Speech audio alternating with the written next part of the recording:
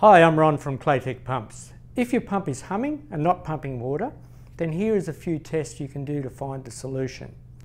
First one, screwdriver in the back of the motor shaft and there is a slot on the end of the shaft and make sure that the shaft is actually turning. If it's not turning, then it will be a lock up in either the wet end or the motor.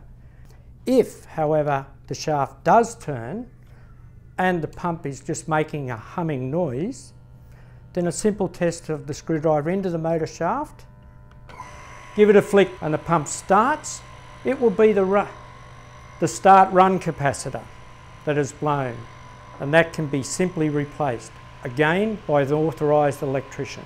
To identify what pump you have, it's on the label and also the capacitor is listed under UF. On this particular pump it's a 12.5 microfarad.